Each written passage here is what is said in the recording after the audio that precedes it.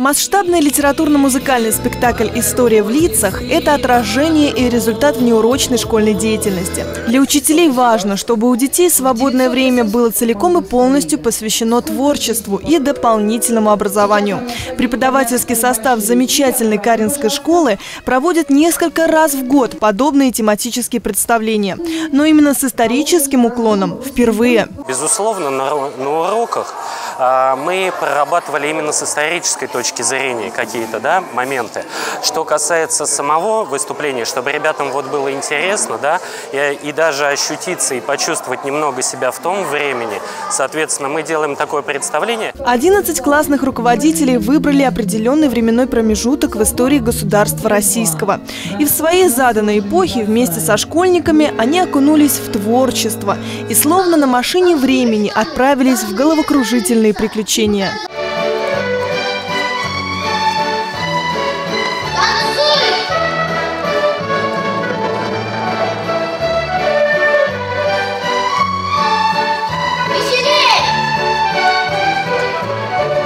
На этом ярком празднике задействованы абсолютно все. И никто не смог скромно отсидеться в зрительном зале. Не было ни одного ребенка или учителя, который бы не участвовал в театрализованном школьном событии. С самого начала моей, скажем так, карьеры руководителя я приняла для себя решение, что если что-то делать вместе, то нельзя никого, никого исключать. Есть у тебя способности, нет у тебя способности, талантлив ты и не очень.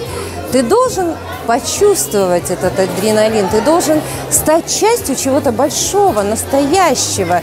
И только так. Нельзя никого исключать и обижать. Перед глазами зрителей в одночасье пронеслись образы князя Олега, прибившего свой щит на воротах Царьграда, князя Владимира Красносолнышко, принесшего народу христианство, Дмитрия Донского, сражавшегося с войском хана Мамая и многие другие выдающиеся личности.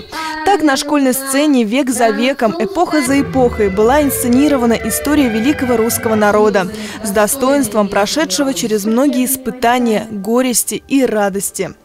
Мир православный, или у нас нет чувств, и вялыми сердцами. Восстанем, дорог каждый час, восстанем, все пойдут за нами, освободим страну родную или за родину святую все до единого умрем. С историей не спорят, ее изучают и хранят. И в Каринской школе видно, как из подрастающего поколения здесь воспитывают настоящих патриотов и добропорядочных граждан нашего государства. Екатерина Страсветская, Станислав Трифонов, телекомпания «Одинцова».